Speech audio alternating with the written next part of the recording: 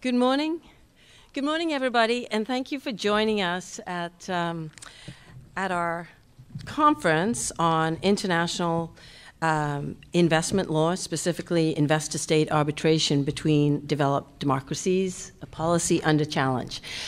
Uh, this is a conference brought to you by the Canadian, um, the um, CIGI, the Center for International Governance Innovation, and specifically the International Law Research Program of CIGI. Um, this project has been led by Armand de Mestral. Um, he is a senior fellow with the International Law Research Program at CIGI. He's also the Jean Monnet Chair in Law of International Economic Integration at McGill University. And Armand has put together this program for today with uh, experts from around the world who are going to discuss different dimensions of this question of investor state arbitration between developed democracies. And um, so the program, you, you all have a copy of that. It's divided up into five panels um, with an introduction to start the day by Armand. And then uh, we have a lunch speaker who is the um, ambassador of the European Union, Marie-Anne Coninsx, who will also um, discuss this issue from a European perspective. So I think we're going to have a really interesting day. Um, you're also lucky to have both electronic copies as well as. Um, uh, hard copies, if you wish, wish to have them, of all the papers. Um, so these are all draft papers, and they are being uh, reviewed tomorrow in a in a closed workshop with the authors and the, um, the chief editor on the project. And um, the first result that will come from that is uh, papers like this. You saw one of them was published, the first one. Um, and there'll be a series of papers like this, and then we're also hoping to put them together in a, in a compilation uh, as a book. So um, that's all I have to say. I will just let me give you a more formal introduction to Armand um, so I mentioned he's a senior fellow. He's been with us for over a year now. He is professor emeritus, and as I mentioned, the Jean Monnet Chair in the Law of International Economic Integration at McGill University. He teaches several courses, including Law of the Sea, Public International Law, International Trade Law, International Arbitration, European Union Law, and Public International Air Law. Uh, Professor de Mestral's research focuses on areas of international trade law, law of regional economic integration, European community law, Canadian and comparative constitutional law, international environmental law, and international humanitarian law and human rights. Um, I would also um, like to mention that um, today there'll be lots of opportunity for you to ask questions. So we're going to keep all the presentations fairly short. Um, and if the the speakers feel a little frustrated by being confined to a short presentation. There will be an opportunity at the end. Um, the last hour and a half will be an open discussion with all the panelists, and you, you will have an opportunity to pose questions to, um, to the speakers then as well. So during the, during the conference, um, after, this, after each panel speaks, you'll have an opportunity to pose questions live. Um, and in that last panel, we'd ask that you prepare a written question, and then we'll sort through them and we can hopefully get through more questions that way. Okay. Um, I failed to introduce myself. I'm Oonagh Fitzgerald. I'm the director of the International Law Research Program at CIGI, and I'm very happy to be here. So, without more, I'll turn to Armand. Thank you. Thank you very much, Oonagh, for this uh, very kind introduction. Uh, if I may, I'll, I'll, say a few words about, again, about the organization of the day and brief, very briefly introduce the, uh, the, the, general topic. Uh, you have a, an order of proceedings. You also have uh, biographies of all our participants and our speakers. Uh, just to say, the, the morning sessions will be focusing on the experience with investor state arbitration uh, in a number of jurisdictions. We have a very comparative approach. Uh, and we have presentations from the Antipodes to Canada, uh, passing through Europe and the United States. Um, so, the, so the focus of the morning and three panels in the morning is on uh, national experience, uh, the debate, the academic response, uh, public criticism, etc. Uh, this afternoon, in the afternoon, we'll be looking at broader questions. One of them being, do the kinds of incremental changes that have been creeping into recent uh, investor-state arbitration uh, clauses and investment protection agreements generally respond to the concerns of both the public, the ac- academic, and uh, governmental uh, levels. Uh, we also uh, are looking uh, at uh,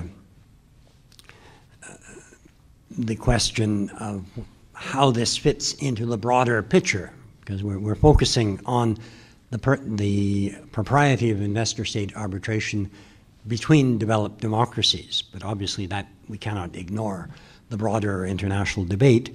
And so there, we've devoted a panel uh, to the question of what would be the response of the rest of the world where a number of developed democracies like Canada, US, Japan, EU, etc., to uh, simply withdraw among between themselves from investor state arbitration. Uh, and then we have a final hour and a half question and answer session and as Oonagh pointed out, we have a very tight uh, timetable for all our panels, and you may find yourselves frustrated in not being able to ask the questions you would like to ask. Uh, but there will be an hour and a half uh, where you, as the audience, will have your chance to put these questions.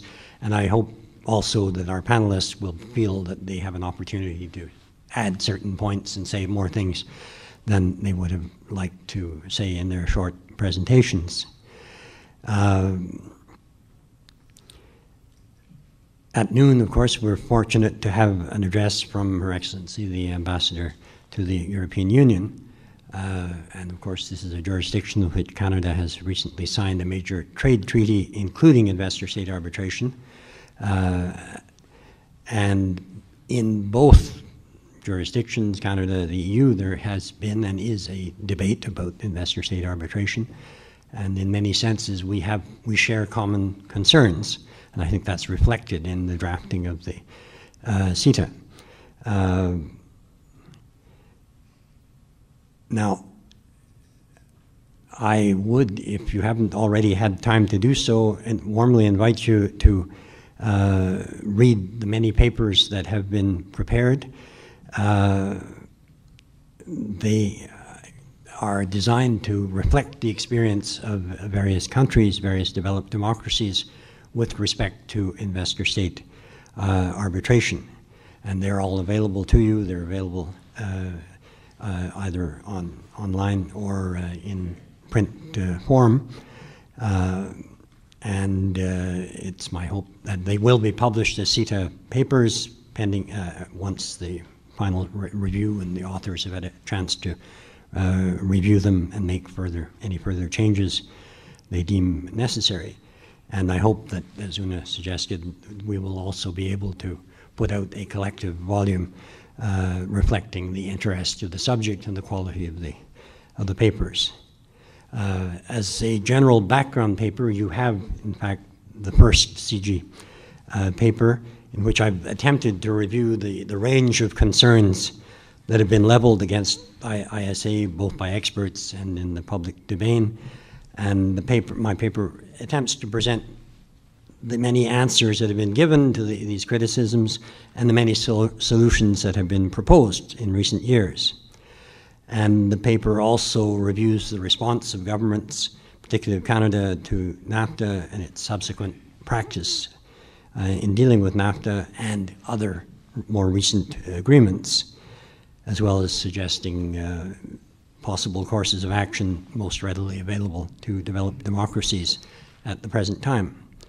Uh, a second paper I've done looks in more detail uh, at how Canada has responded to public pressures and criticisms of investor state arbitration, particularly in dealing with NAFTA cases and in preparing its model FIPA and negotiating subsequent uh, agreements, uh, especially CETA, whose drafting appears designed to protect the capacity of governments to adopt regulatory measures uh, uh and goes further than any previous text in, in doing this. Um, a third paper that I've prepared that is available to you looks at the question posed by the assertion one often hears that everything should be left to domestic courts, particularly Canadian courts, and that these courts should, can, and should provide equally effective remedies, uh, i.e., inaction and damages. Uh, in the Canadian case, unfortunately, perhaps the answer is the short answer is no, but I put the caveat that this answer can vary a lot from one country to another. Uh, and then the final paper picks up uh, from the first paper and tries to set out the possible courses of action that seem realistically available uh, to the Government of Canada. Now, just generally, should developed democracies abandon recourse to investor state arbitration between themselves on the ground that it's neither necessary nor appropriate? This is a central question of the day. And there's a strong current of opinion that would approve this approach. Uh, there's been a debate in Canada almost from the moment that Chapter 11 of NAFTA was adopted in 1993. After all, it was designed to discipline Mexico. Excuse me, uh, Hugo. Uh, no foreign investor was ever supposed to sue the government of Canada, or still less the government of the United States. But they've done so.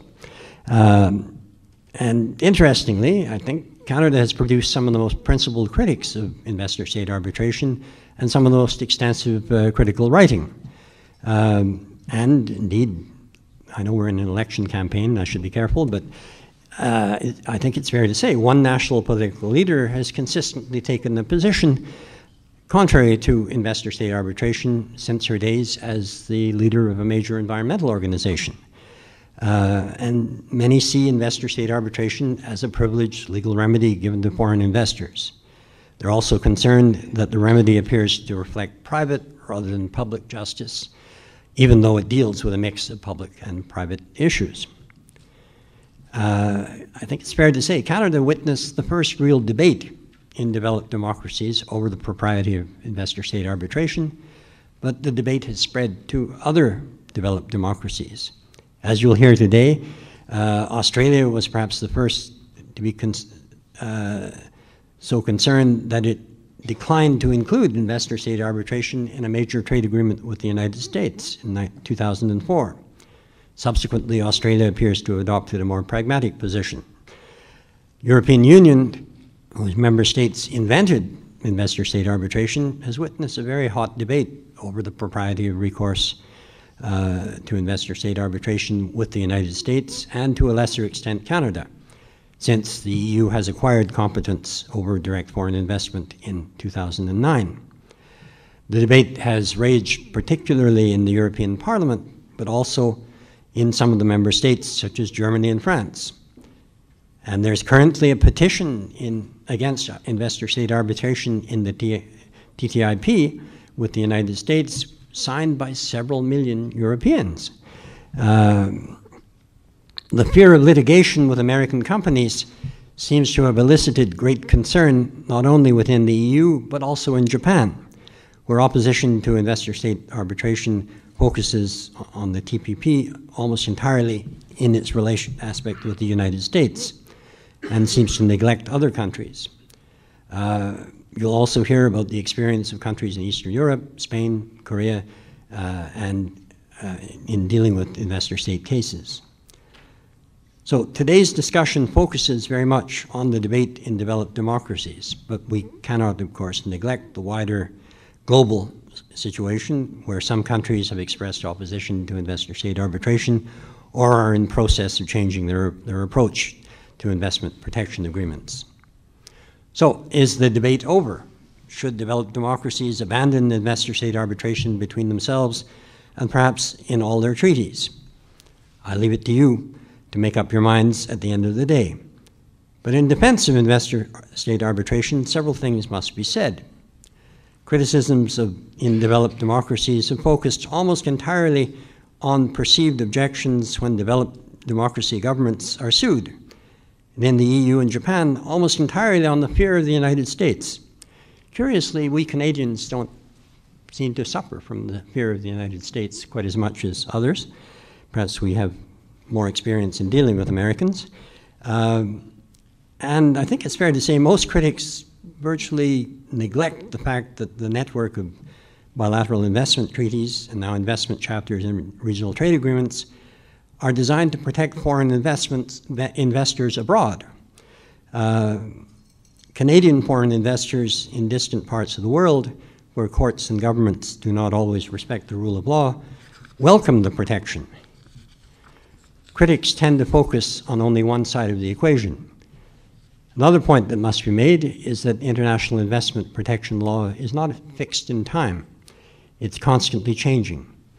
If the concern is that investor state arbitration inhibits the regulatory process and allows foreign investors an unreasonable right to challenge domestic regulatory policies, critics would do well to examine carefully the changes made to model investment protection agreements, such as the US or Canadian models, as well as the many proposals for further change.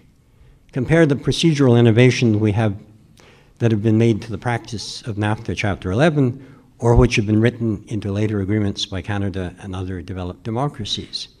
Consider the major exceptions, public policy protections, and other substantive changes that have been written into the CETA text by Canada and the EU, who appear to share very similar concerns. Much has changed. The substantive and procedural law is not static. There are important proposals to amend the ICSID review committee process. The EU has just last week proposed a court and appellate process for the TTIP.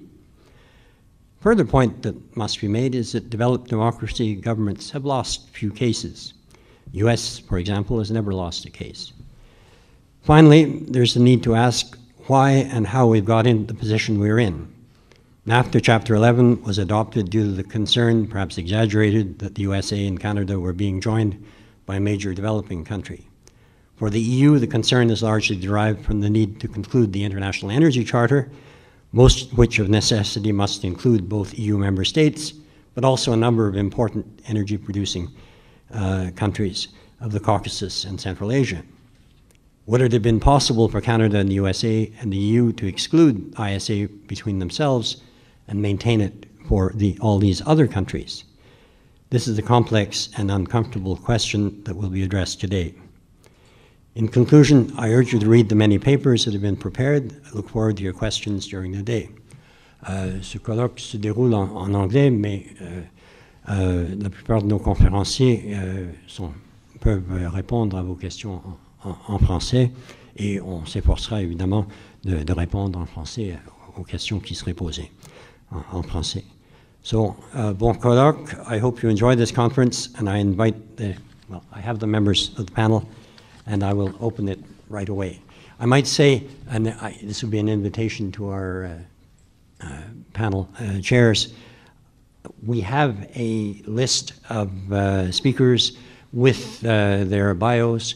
I think I will refrain from making the kind of kind invitation description of each panelist, and I invite, in order to save time, I invite other panelists to, do the same. We are indeed fortunate to have a group of very distinguished academic and professional uh, participants who have prepared papers and who are presenting today. And indeed, I, I have to say, some of them are, are, so distinguished and so active that they're not able to be with us today. One of them is in an arbitration in, in Washington and couldn't leave. Another is delivering a paper in, in Europe. Uh, but we're fortunate that equally distinguished and able colleagues have been able to replace them. And um, uh, so we are able to proceed with a, a full conference. So, bon colloque, I thank you very much.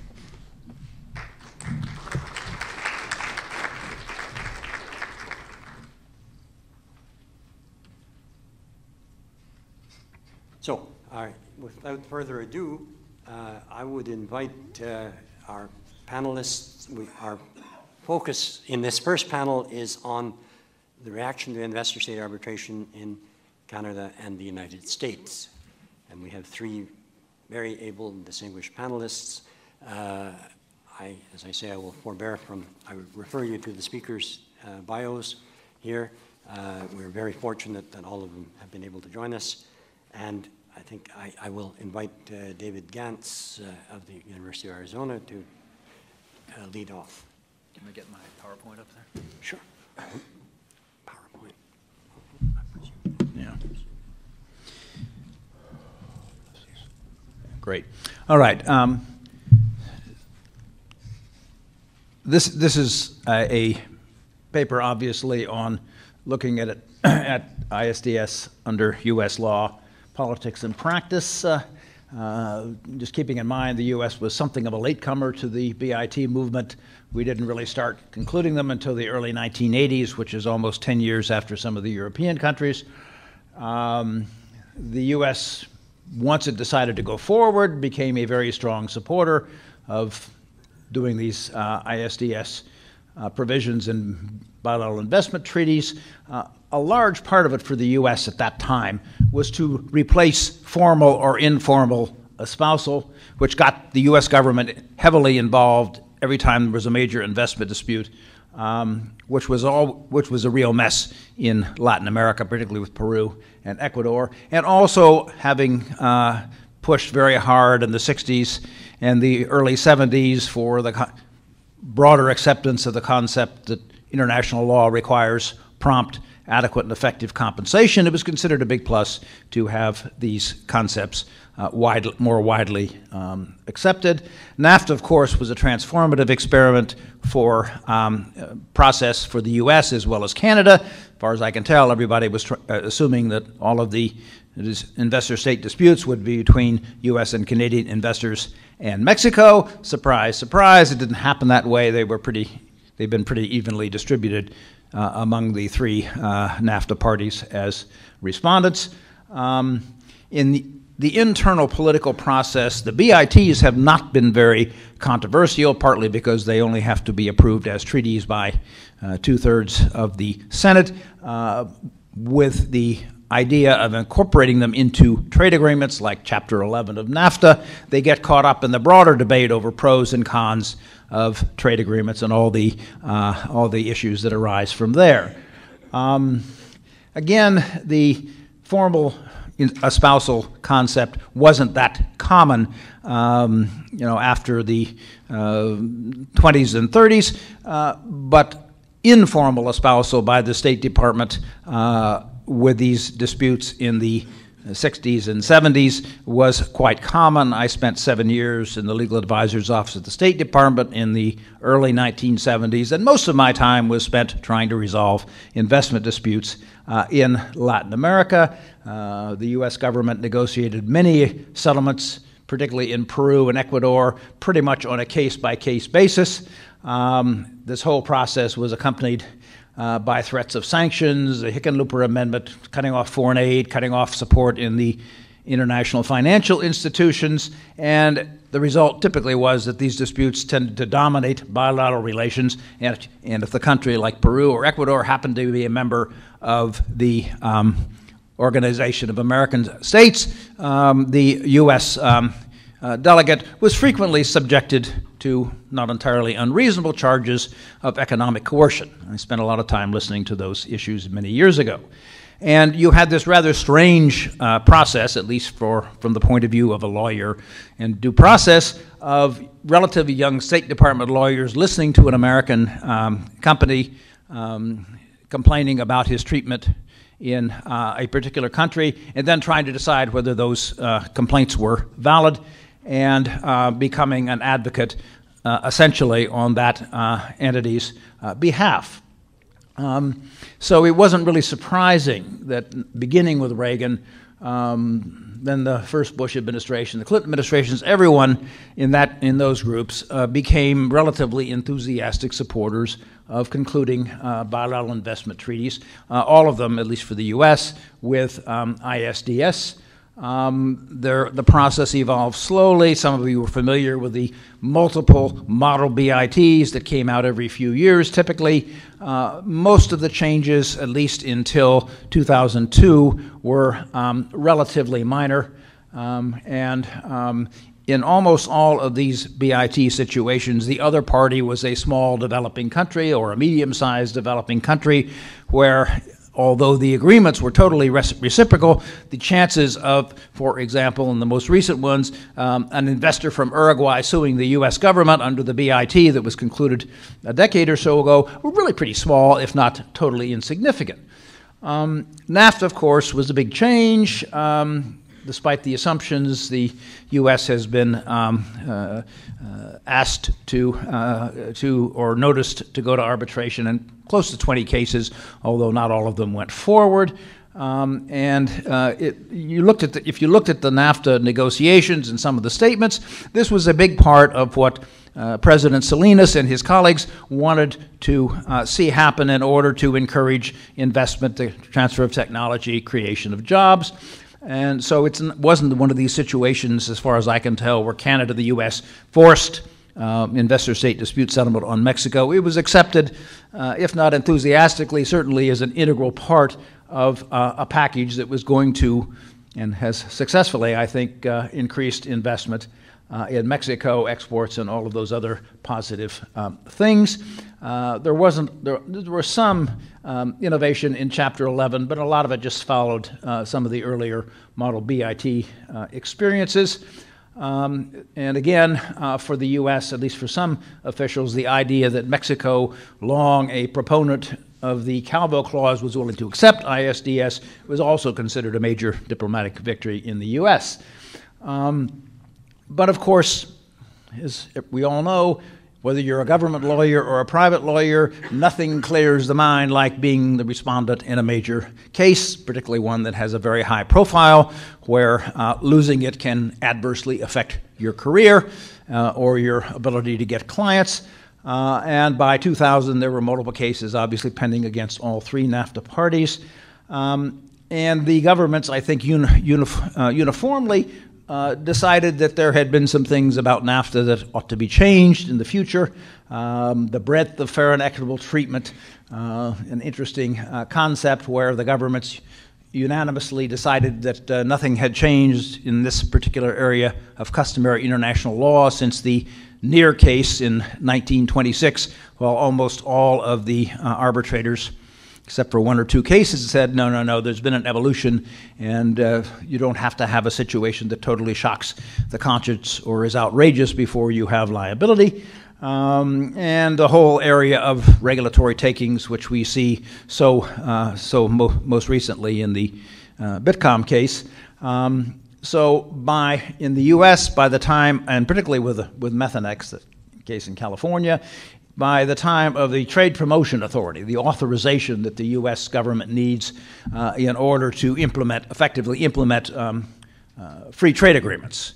Uh, it doesn't affect uh, BITs at all uh, in a significant way, except the same basic theories apply uh, by the time we were doing new agreements under the second Bush administration with Chile and Singapore, they were trying to redefine concepts, especially to deal with regulatory, um, regulatory takings, the rare circumstances language that if it's non discriminatory, regulatory actions protecting things like public welfare and pu- safety and the environment, particularly the environment, are not indirect expropriation. That was one area. Um, and then this whole area of fair and equitable treatment a customary international law minimum standard. Um, eh, don't have to do anything beyond what is required by that standard. The problem is it doesn't tell you what customary international law is, and um, I think most um, commentators, and certainly the vast majority of arbitrators, other than the Glamis Gold uh, uh, case uh, in the U.S., um, see it as an evolving process that is affected, among other things, by 3,000 BITs and all of these, what, some 600 um, ISDS cases uh, that we know about. Um, so, um, and the, one of the interesting things that uh, is that uh, there was an effort to adopt U.S. Uh, Supreme Court litigation. How much time? Okay. U.S. Supreme Court litigation um, from the Penn Central Transportation Company case, it's not so surprising that this is brought into the um, U.S. Uh, uh, uh, invest, uh, investor state uh, chapters, uh, but it is also found in the Canadian agreements and this newest proposal that comes out of the European Commission, the informal proposal, also has the same language from Penn Central, which I find sort of a creeping imperialism, uh, uh, but uh, a standard which obviously is very uh, desirable for many for many lawyers in various jurisdictions.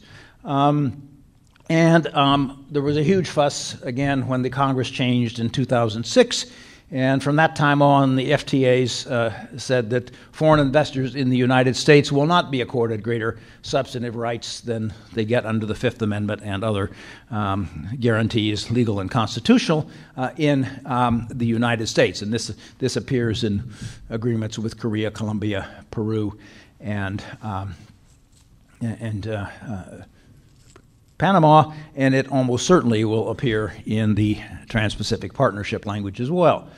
Um, again, they changed, they, they redid the, uh, the Model BIT in uh, 2012. It took about a three year period under the Obama administration. Not really many changes, except a few on the periphery. Uh, there was a huge debate, as some of you know, uh, earlier this year over renewing trans the Trans Pacific Partnership, and ISDS was one issue, but only one of several issues uh, uh, that um, uh, was part of the discourse. And it really wasn't that different than uh, the NAFTA debate. Uh, if you go back and look at Ross Perot when he was running for president, uh, you'll see a lot of the same language. as usual, a lot of Democrats, labor unions, environmental groups don't like trade and investment agreements at all not just the ISDS, but many other concerns about encouraging job losses for American workers in the world environment. Um, sorry.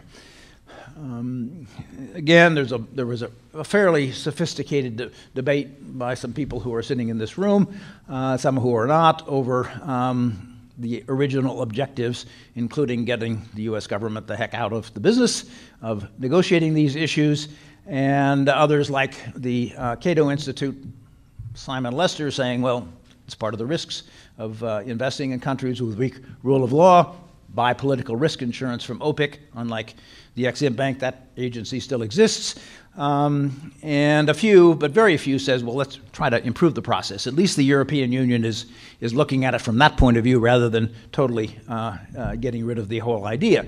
Um, but again, it seems to me, given my background, that if you get rid of ISDS, the State Department will be back in the business inevitably of negotiating these agreements simply because um, congressional and business enterprise pressure will be overwhelming. Otherwise, what in the future, again, we're hopeful that the Trans Pacific Partnership will be done in a few weeks. Uh, I think the language is pretty much going to be the same as we've seen in recent agreements. Um, it'll look very much like the Korea Agreement, for example. They're trying to negotiate uh, a BIT with China. Uh, Canada did this a couple of years ago, but there's a lot in that agreement that the U.S. will never accept. Uh, it's a very complicated process because we all know that if there is ISDS, the U.S. will be respondent just as much as U.S. government official, as U.S. enterprises will be uh, uh, bringing cases. Uh, so it will be very interesting to see how that all goes. Um, TTIP, we'll t- be talking about that later, so I'll just skip this part. Um, someday, I think the Commission will probably make a formal proposal, maybe by the end of this year. Uh, whether the U.S. government and stakeholders will accept this idea of an investment court, I guess we'll talk about later in the day.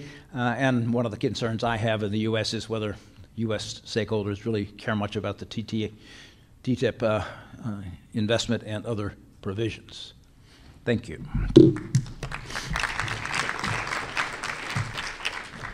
Thank you very much, David. I'm sorry to rush you. I know there's a lot to be said. Right. Now I invite Charles-Emmanuel Côté to speak from Canada.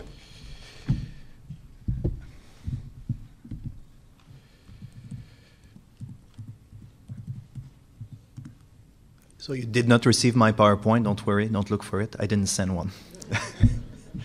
Um, I will talk about the, the Canadian side of the story of, uh, of uh, investor state arbitration. I will start with uh, some, some data.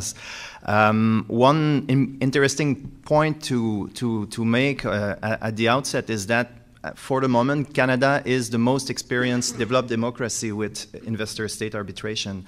No other developed democracy has faced as much claims uh, than Canada. So Canada can can claim to have the status of the most experienced developed democracy with investor state arbitration. Obviously, all claims were brought under NAFTA Chapter 11. All claims were brought by US investor as well. For the moment, we have 22 claims that, that were brought. Um, most of these claims were uh, against environmental measure, unsurprisingly enough. Some claims were also about uh, uh, state-owned enterprises or public services. For the most part, the, the claims uh, uh, related to these uh, these issues, measures relating to this these topics. Um, in addition to those 22 claims, there are probably 15, but Armand and I disagree on the exact amount of notice of intent to submit claims to arbitration. And the reason is that the, the, the data is not ex exactly uh, the same depending on what source you look in. I personally checked on the, the, the, Department of Foreign Affairs website, and they list 15 notices of arbitration, of intent to submit claims to arbitration. But if you look on some other uh, uh, sources, you might see other, other, other uh, uh, notices that were not reported by the federal government. Those notices, even though they never led to an actual claim, they are part of the story because they might have fueled fears of uh, investor state arbitration, even if they had actually no real legal basis, they were made, they were publicly available, and they might have raised fear as well. So out of those 22 claims, 11 are now uh, uh, closed, and Canada won seven and lost four. Um, the aggregate amount of claims that were brought against Canada, or the, including those that are still pending, is 8.1 billion US dollar. Uh, however, when you look at the actual damages that were awarded or the settlements that were reached between the parties, you, uh, you, uh, you, the, the number um, gets to 147 million US dollar, which equates to a mere 0.05% of all US investments in Canada. So that has to be put into perspective as well, like the, the amount of stocks of US investment in Canada versus the actual damages that were, that were uh, awarded against Canada. So my main point would be that overall the experience of Canada with investor state arbitration has not been as dark as one might think, even though there are some areas of concerns. And I will look at these, uh, at these uh, lessons that may be drawn in the few minutes that I have left, uh, the, the few lessons that may be uh, drawn from the Canadian experience. Like the US, and even uh, uh, later than the US, Canada has been also a late participant, a late bloomer in investor state arbitration or investment treaties. Our first um, treaty was signed with the US actually uh, in 1989 in the Canada-US Free Trade Agreement. There was a, a ch investment chapter which did not include investor-state arbitration, but only disciplines on investment uh, uh, policy. Since then, Canada has signed 29 foreign investment uh, protection and promotion agreements, FIPAs, uh, all including investor state arbitration, seven of which are with developed democracy, all of which are former uh, Central, uh, uh, still Central and Eastern European countries that are now member of the, of the EU. Uh, we also have 11 free trade agreements in force, into force, uh, and uh, they do not systematically include an investment chapter or investor state arbitration. Out of these 11 FTAs, we have four, three FTAs that are with uh, developed democracies, NAFTA obviously, but we also have a free trade agreement with EFTA countries, um, the European Free Trade Association, and this free trade agreement does not include an investment chapter. We also have a recent uh, free trade agreement with South Korea that includes a free trade, uh, uh, an investment chapter with ISA. We have obviously also under negotiations uh, uh, or that are not yet into force, a couple of treaties, CETA with the EU that we've talked about already, TPP, Canada is participating, and also free trade negotiation with Japan, and I'm not sure exactly if there is uh, plans to have a, a, a ISA or not. This, this data is not publicly available at the moment. Um, last important point uh, is that uh, in Canada, foreign uh, investment agreement, uh, FIPAs or FTAs are not part of the law of Canada. They may not be invoked before Canadian courts.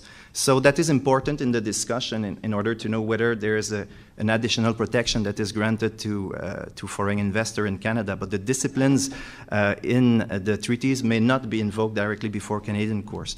Um, if I look quickly at the, in the time that I have left at the, the, some lessons that may be drawn from the Canadian experience. One thing that should not be forgotten is that a lot of, of, of the obligations that are provided for by these treaties are already binding on Canada in other ways. Uh, there are some uh, of course, international customary law obligations that are already binding on Canada. There are some WTO uh, law obligations already binding on Canada that may be repeated in, in, uh, in, uh, in these treaties. There are also some, some we, we, we, tend to forget, but there are some old um, treaties of uh, friendship, commerce, and navigation that were signed by the United Kingdom that are, sim, that, that are still binding on Canada. Some, some of them are still binding on Canada, on Canada, and they do provide for disciplines as well uh, that might equate or echo what we find in, um, in, uh, in, uh, in uh, investment agreements. Uh, another point is that uh, it could be, and that issue has to be looked, I guess, more into details. It could be that Canadian law does not offer always equivalent protection than you have in, in, in uh, investment treaties. We have had the case of Abitibi-Bowater with, uh, with a direct expropriation by a provincial uh, government where we face the limits of our, of our, of our uh, internal law facing these issues, and, and that shows that maybe there's a need for internal, in, international protection there. Um, we have a, a, pending case now at the Quebec Superior Court that could be interesting in that regard as well. In the, in the um, Strateco Resources case, um, a Quebec mining company is suing now the, the, the Quebec government for 190 uh, million Canadian dollars uh, because its uh, mining exploration uh, um, uh, operations were stopped by the provincial authorities for lack of social acceptability despite previous temporary authorization, despite uh, the Federal Nuclear, Nuclear Safety Commission approval of the project, and they're now testing the limits of the Canadian law in uh, the, Can the, Canadian courts, and that might be interesting to see how, how far you can get protection. this, the facts in that case uh, resemble to to facts that you might find in investor state arbitration. Um, quickly, maybe the two main problems that I see from the, um, the, uh, the, uh, the, experience of Canada in terms of substantive law, I believe that the uh, most favored nation clause uh, at the moment might be problematic. Uh, even though you might, in newer treaty, uh, limit the scope of most favored nation clause, that does not alter the fact that in previous treaties, like in NAFTA, for instance, you have an unlimited most favored nation clause, and that way, uh, even if you have treaty innovation for posterior treaties, the previous treaties are still are still the, the, MFN clause is still not limited. So, in a lot of cases invest, uh, brought against Canada, investors do invoke uh, better treaty protection in previous uh, FIPAs, for instance, in order to bypass limitations that have been made in uh, later treaties. And I think that's an area of concern for, uh, for Canada and for most uh, developed democracy. I think that's a, it's an issue that has to be mo more looked into. Uh, there's no definite ruling, however, yet on if one might use uh, the MFN uh, clause in that respect. Each time the question was put before an arbitral tribunal, they decided to duck the issue and, and rule differently without saying that they refuse to, they, they accept either argument, just saying that they, they, they, will they refrain from ruling. Uh, obviously, the second area of concern is the fair and equitable treatment uh, clause. Um, I would say that we kind of witness a slow nullification of the notes of, uh, the notes of interpretation that were adopted in 2001 to restrict the scope of the fair and equitable treatment uh, uh, protection in NAFTA. Why, why is that? Well, first of all, uh, with the, the idea that the content of, uh, and, and which is, I guess, a right idea, that custom is not fixed in 1926 and is evolutionary, well, there are limits to what you can circumscribe at one moment uh, in 2001. Uh, custom continues to evaluate, uh, to evolve, and um, what we see is that there seems to be less relevancy in this uh, specific notes of interpretation in, in, in, in uh, recent uh, interpretation of the fair and equitable treatment. And of course, even if arbit arbitrators agree on uh, the content of, the, of, the, of customary protection, Still, what we see, and the Clayton Bilcon case is, is, is, the latest instance in that regard, what we witness is that this general protection is quite hard to apply to, to the facts, and arbitrators might completely disagree in applying the, the, the, the, the fair and equitable treatment uh, protection to the, the facts, which leads to other problems. Um, maybe another point that I find interesting uh, to, to stress, and there are so many other things I would like to say, but one interesting uh, issue is the denial, the use of denial of benefits clause. Canada has, in its in most of its treaties uh, included a denial of benefits clause, like in NAFTA, allowing it to block claims by shell corporations, uh, control by uh, uh third country foreign investors that have no substantial business in, say, the US. It, it, the clause was invoked outside legal uh, arbitration proceedings in one case. Uh, and it was successful enough to stop the proceedings. Uh, so it was invoked, uh, it was not ruled on by arbitrators, but one should uh, nevertheless look at other instances in which outside NAFTA such clauses were applied. Importantly enough, in the Yukos trilogy arbitration case, uh, the tribunal ruled that this could not be, this, such a clause could not be invoked retroactively. And that means that it's not clear how exactly such a denial of benefit clause has to be handled by, by, by uh, treaty, uh, uh, treaty uh, uh, parties. So that's an area that has to be looked more into detail. Um, maybe the last experience in my minute, that is the, the, last minute I have, maybe even though the notes of interpretation for the fair and equitable treatment have proven to be of a limited interest in time, um, I still believe that it's probably the most pragmatic mechanism to control uh, ISA at the moment, given the impracticability to modify most treaties that are already in force, uh, to introduce appellate review, uh, etc. Probably that for the moment the most pragmatic solution is binding interpretation, and perhaps that uh, uh, countries should use more often binding interpretation in, in the operation of their treaties. And it has been, like you know, very scarcely used, at least in fact only twice by in NAFTA and for the Canada-Chile um, uh, free trade agreement. For the rest, it has never been used, and I believe it should be used more often. Um, yes, I will end here. Thank you. Thank you very much indeed. I invite uh, David Schneiderman to take the floor.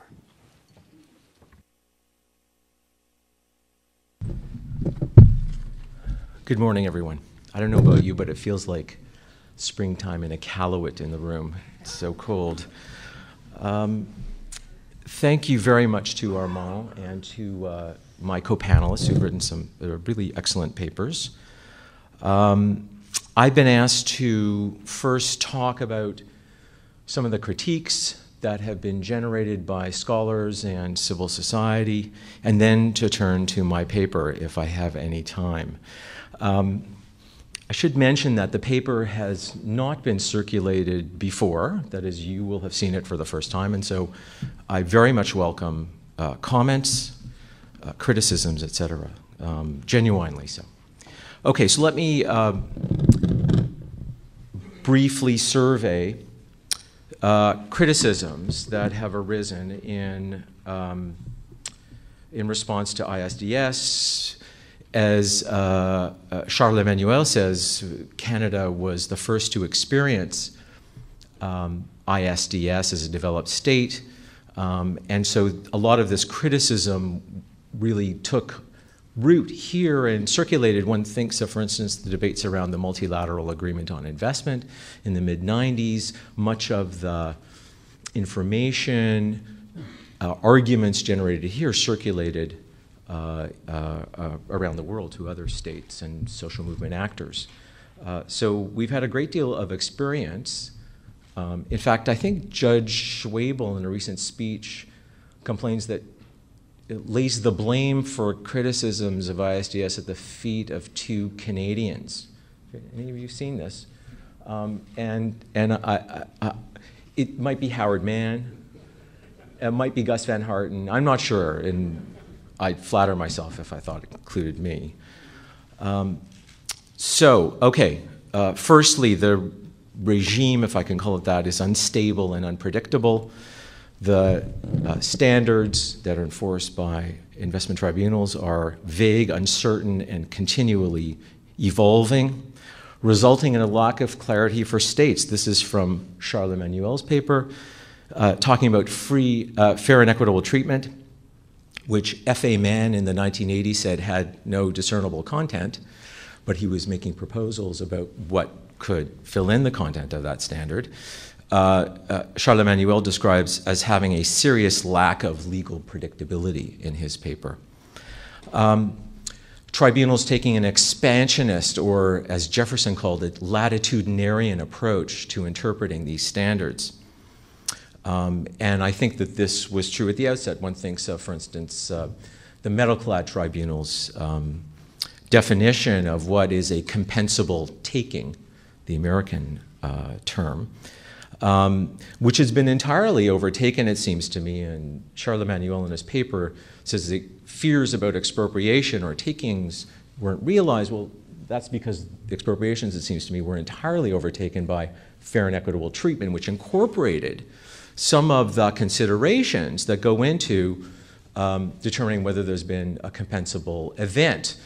In other words, some of the Penn Central criteria that David Gantz mentioned reappear in fair and equitable treatment um, um, considerations. There's a structural tilt to the regime, not surprisingly, right? The object and purpose is to facilitate capital movement. Um, there are claims about bias, hard to prove, and certainly hard to disprove.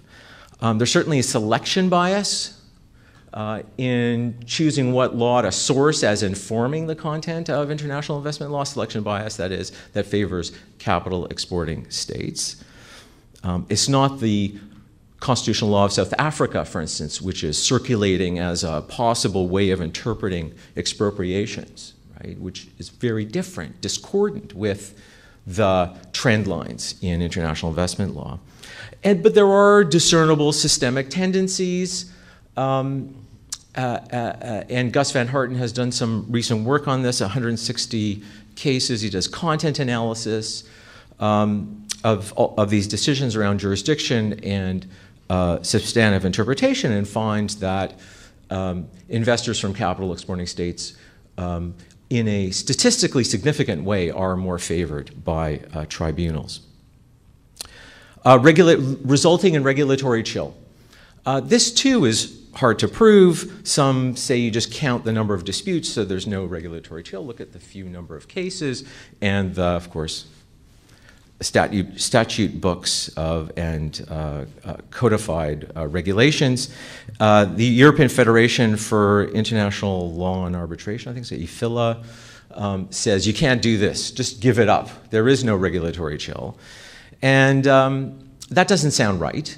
Uh, we get conflicting anecdotal accounts about what's going on. And certainly my um, uh, uh, introduction to international investment law occurred in 1994 uh, when the Canadian government considered adopting a plain packaging initiative in regard to the sale of tobacco products, which is, of course, a large controversy now uh, disputes against Uruguay and, um, South and uh, Australia.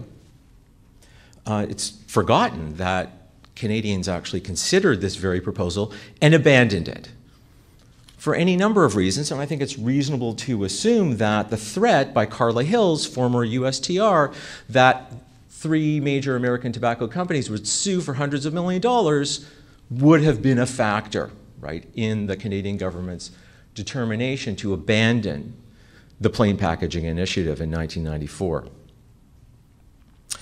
Is the system then in crisis? Some people say it is. Sornarajah says yes. Um, and of course, there are um, uh, events in Germany and France, and we'll hear more about this, of course, as the day goes on.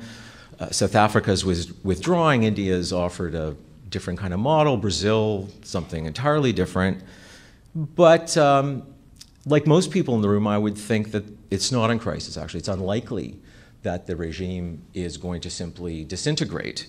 Uh, that's because there are powerful economic interests, um, and there are lawyers, right? Some of them gathered in the room, who will ensure that the regime continues on. It will be difficult, it seems to me, to dismantle um, uh, this um, global web, right, of uh, investment treaties, which does not explain the hyperbolic and vitriolic attacks launched against critics by international investment lawyers and arbitrators. It's very curious um, how angry um, some of these folks are, and I would refer you to the piece by Brower and Blanchard in the Columbia Journal of Transnational Law. It's just really inexplicable, um, the accusations that are being flown around, namely that you know we critics are misleading, liars, myth makers, etc. Okay, let me turn to my paper. Let's see how much time I have. Okay, I have three minutes. So uh, the paper, after sort of listing in a short paragraph some of these criticisms, takes seriously democracy promoting rationales that have been offered by uh, tribunals and some investment scholars. Democracy promoting rationales for ISDS.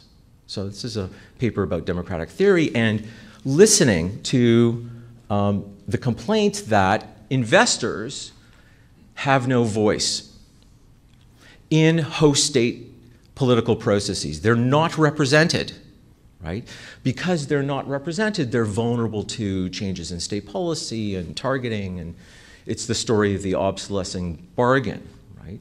That Investors are not going to be represented. Well, of course, companies artificial persons don't have a vote anyways in most jurisdictions. And there are many ways in which um, foreign investors express themselves, have a voice. And, and there's literature out there, it's political risk literature, um, among other things, that tells us the ways in which uh, companies make their views known to host states. And many of you, I'm sure, are familiar with some of these techniques.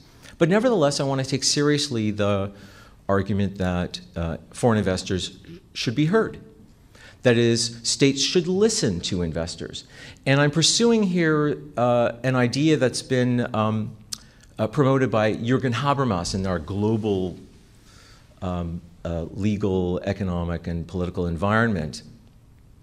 That uh, uh, there are many of those who are affected by national laws that don't have a voice, that aren't represented. So we want to take into account all of those affected when we make policy. And that includes not just foreign investors or foreign nationals, but also uh, communities, right? And other folks who might not actually have a voice. Um, it's, it's interesting, for instance, in the Tecmed dispute, that um, the uh, uh, citizens movement in, uh, that was opposing the operation of the hazardous waste site because of the environmental dangers that it posed, and which were documented by the Mexican government. There was also a push for freedom of information because the local community felt it was left out of uh, deliberations that were taking place between the investor and the city and the state. So, freedom of information. So, the community wanted to be heard as well. They were affected. and I do this by pursuing the idea of uh, uh, listening, hearing the other side, represented by the Latin maxim audi alteram partem. And I, in the paper, trace some of the um, political uh, theory behind audi alteram partem, which gets taken up in English administrative law and uh, in other English uh, derived legal systems. And it's not a set formula, uh, but just a, a, a general kind of rule. Listen, hear, deliberate. It does not, you know, a, a, a process based account does not resolve um, substantive disagreement, but it allows for hearing and dialogue. I examine a number of disputes where uh, listening to the other side may or may not have uh, changed uh, the result. Um, I, I, talk about Methanex and Chemtura as instances where the investors were heard and wouldn't have resulted in a change uh, in the tribunal's decision. Um, of course, Audi Alteram Partem, I should make clear, is about having local processes, host state processes, listen, rather than having uh, investment arbitrators uh, do the listening. Tecmed, I suggest, um, would have uh, led perhaps to better treatment to the investor. Uh, and in Bilcon, certainly would have le- led to a different result. That is, the investor had lots of opportunity to reply to concerns about environmental hazards before the joint review panel. And then I address a number of counter arguments. Um, that is, that there's uh, uh, local host state processes that listen to investors are no substitute for international uh, uh, um, arbitration. Uh, Hugo Perezcano makes this uh, argument in his paper. It's distinct from national law, and in some respects, yes, in many respects, no. Uh, ignore, you know, the argument, the no substitute argument, ignores the source for the content of much of what constitutes international investment law, including, as we learned from David Gantz, the American Constitution. Uh, it also ignores some functions that investment tribunals perform, as in Bil- Bilcon, performing functions that are ordinarily performed by domestic tribunals, right, by courts within the host state. Um, there are arguments that investment law already provides due process. It's true, there's a hearing, not everybody's heard from, but there are provisions for doing that. But of course, it's much more than a process. International investment law is enforcement of substantive norms. Um, and lastly, uh, the argument, and this I've heard from World Bank officials, that without ISDS in the background, you'll never get host states to improve local processes, right? Court administration and the rule of law. You need ISDS as a threat, right, to hammer um, host states over the head. And, um, and this, is, this sounds kind of possibly convincing, but how does one explain then the rapid rise and embrace of ISDS, of BITs and FIPAs in the 1990s into the 2000s when there was no such hammer uh, hovering over the head of host states, when there was no system like that as a threat operating in the shadows? And so I suggest that, in fact, you don't need ISDS as a threat in order to promote rule of law reform of the sort that I'm describing. Now, is this likely? No. Jan Paulsson, in his book Idea of Arbitration, um, makes note at page 258, I'm ending here, Armand. Um, and he writes this tongue in cheek, right? He says Some academics have suggested that international arbitration should be jettisoned because its availability stifles the evolution of national courts in institutionally immature states. And he just does not see this. It would require an ethical epiphany on the part of those local judges. Um, in a footnote to this point about some academics, he says this No references are given. If the reader doubts that such notions could seriously but be put forward in scholarly writings, so much the better.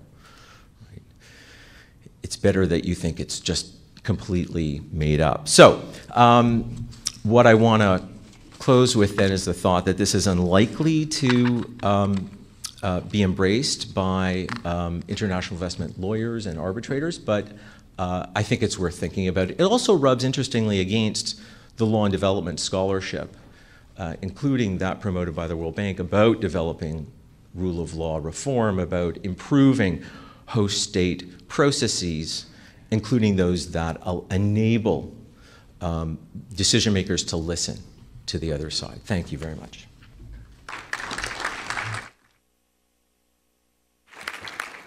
Thank you very much, David. Our three speakers have kept to their timetable with exemplary precision and left us uh, uh, 14 minutes for questions.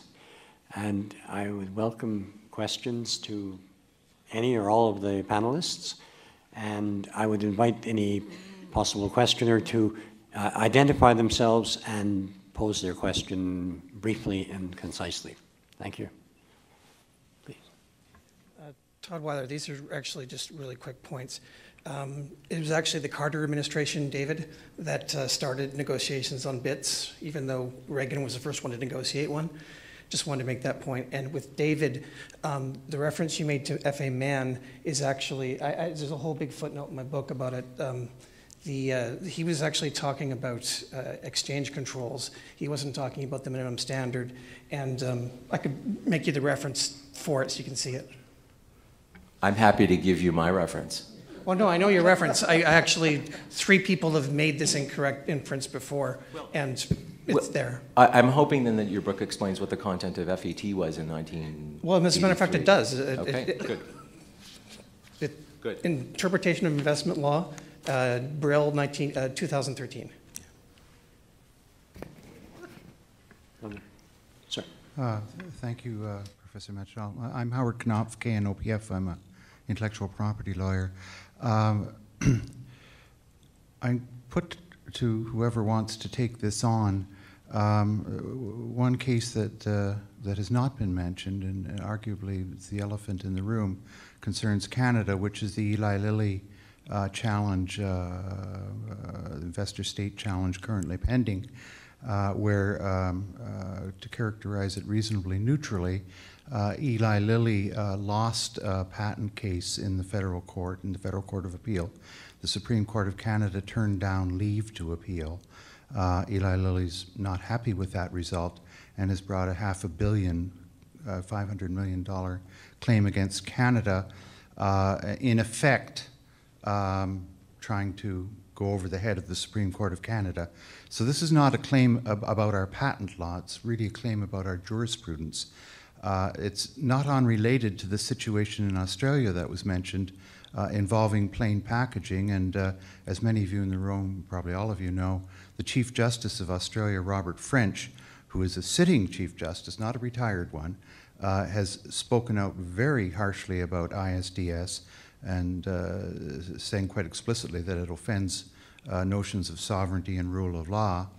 And it was interesting that the plain packaging situation was, was mentioned here. I, I, I had done some work on that in the past, and it seems to me that, that plain packaging would be a perfectly reasonable um, uh, initiative under health law. And I think some of us would be concerned if, for example, at some time in the future, Smith and Wesson was to bring a complaint that we don't allow advertising guns in Canada and we ban handguns. Uh, anyway, that's, uh, I'm trying to roll a lot into here, but maybe we uh, focus on, on, on the Eli Lilly uh, question and whether or not it, it is troublesome for us that, in effect, um, three arbitrators could overturn the decision of a federal court of appeal and leave to appeal denied by the Supreme Court of Canada. Thank you. Well, I, uh, in my paper, I address very briefly the Eli Lilly case. Obviously, the case is not yet uh, concluded, but uh, a, a, few questions uh, um, uh, flow from this case. First of all, there is in, in the arguments of the investors, there is this, they try to make a link between vi well, alleged violation of the intellectual property chapter of NAFTA and that could help to constitute a breach of, uh, of the investment chapter. And this, this, uh, the sort, these sorts of arguments have been made in earlier case, and, and in that case it seems to, to be central in the argument that breach of intellectual property protection in NAFTA would constitute a breach of investment. Um, and that has not been successful before. Uh, there has been a, a, a, will, a clear will to separate uh, investment chapter from other chapters. And evaluating if there's a breach of the investment protection uh, uh, provisions. Even the notes of interpretation of Chapter 11 made that clear that violation of another NAFTA chapter cannot constitute a breach of minimum standard of treatment. But the argument is, is put again. A second interesting point there is, in, is that, uh, and that goes to what you said about the fact that fair and equitable treatment might have encompassed some aspects of expropriation. And in, in my reading and my understanding, and I'm not an, an, an, intellectual property lawyer, but my understanding of that case is that there's a fair argument that is fair. Well, there's an argument that is made that it's constituting a, a, direct expropriation, basically, that the the, the, the, the, losing of the, of the patent is a direct expropriation. That's an, an argument that is made, and there were few cases where direct expropriation claims were made, again, not indirect, but direct expropriation against Canada. Um, that is troublesome, I guess, but I don't know to what extent it's going to fall on fair and equitable or uh, direct expropriation. And more broadly, this case, I think, uh, touches on, on something I, I, I, I, explored a little bit more in detail in the paper. Uh, it's the limit between trade, trade uh, disputes and investment disputes. And the fact that in trade disputes, private uh, investor or private economic operators do not have an international remedy uh, uh, apart from asking their state to espouse their claim and bring a complaint. Try, tend to use uh, investor state arbitration to try to frame or to clothe a trade dispute in an investment dispute in order to get a satisf satisfactory remedy. And this has happened in quite a few cases. And I even believe that it's maybe more likely to happen in uh, relation to investment chapters embedded in free trade agreements there's like a closer connection between the trade and investment thing than in than with a, a, a, an autonomous bilateral investment treaty. And I think that's something that has been maybe a little bit underlooked. Uh, is there a difference between an investment chapter in a FTA or a bilateral investment treaty? And I would tend to think that basic treaty interpretation rules that uh, that makes the interpreter uh, uh, that forces the interpreter to interpret uh, a provision in light of the objectives and of the, uh, the goal of a treaty, then if you're in the FTA, the goal and the objectives are broader and encompass trade and investment, and there's sort of blurring of trade and investment issues that can lead to to, to more easily clothe an invest, uh, a trade dispute into an investment dispute. That would be my. Just a short comment. Just we, we have to be careful about how we talk about um, investment arbitration in relation to domestic law. In Canada, as Charles Emmanuel has suggested, Canadian courts in a couple of cases, the uh, CUPE case and um, who Kapatsach, I think, case, um, basically declared that investment arbitration in, is uh, subfield of international law. It's a separate and distinct legal system, having no impact on Canadian law. That's how the Ontario Court of Appeal uh, describes um, international investment law, separate and distinct.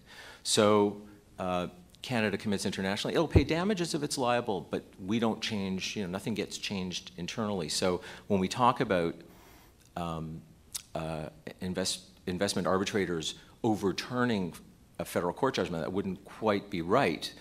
But, but then the courts, of course, have draw this artificial line because practically speaking, Canada will not want to face a multitude of these kinds of claims, and so will change its policy, right, uh, in order to forestall that possibility. It'll have to pay out and then avoid paying out further claims by changing the law, right, and so doing functionally, practically speaking, what you're describing.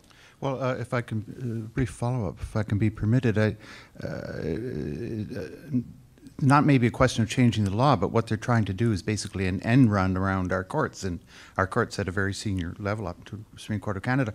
But um, what, do you think, do any of you think that the Canadian government was wrong or is wrong to argue this on the merits and maybe should have brought a challenge as to the very jurisdiction, uh, in effect, for, for Eli Lilly to challenge a court decision. If they want to challenge the Patent Act, fine. I don't think they have a, they obviously don't think they have a leg to stand on. What they're doing is basically challenging, in effect, the court decision.